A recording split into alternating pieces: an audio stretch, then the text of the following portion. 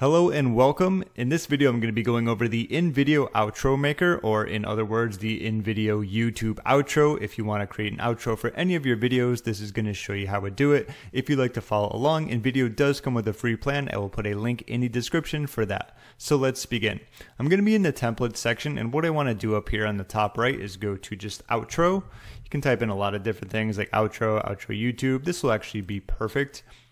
And as you can see, there's going to be a lot of templates here. Some are going to be like, thank you for watching. What's up next? You know, check out some of my uh, great videos. Thanks for watching. Ironically enough, uh, as I've talked about and mentioned this many times, templates are going to make your life much easier in this. And if you look at this, given the fact my channel is Marketing Island, if I use this, I'm not going to really have to do a whole lot, which is a great thing. So uh, I'm going to go with this one, but I'm just going to scroll down a little bit more so you can see kind of the uh, templates that come along with this subscribe for more recipes. And keep in mind, just because there's recipes there doesn't mean you can't use this. For example, if you just got a different shot, you know, you could obviously change around the recipes in the background, use a different image, and of course, change this recipe text right there. I kind of like that layout, looks very nice a few others. There's some movie ones. There's a lot of logo ones. Check out my new videos. That's another Chris Record one. Thanks for watching.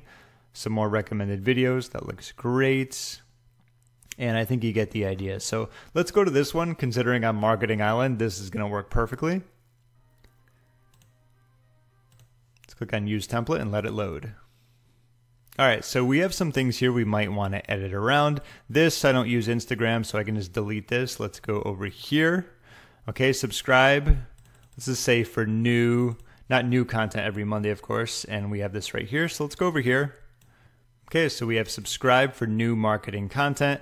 And I'm not going to play it. I finally got to go onto a different computer and I realized that when I play it, I can hear the sound, but you won't be able to. So I'm just going to drag the bar here and as you're going to see, there's not a whole lot that I'm going to need to do. So 10 seconds is cool.